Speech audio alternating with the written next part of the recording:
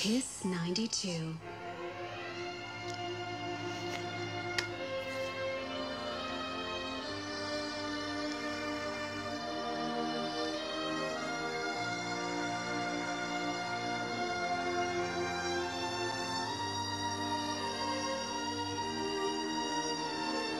When you're close to tears, remember someday.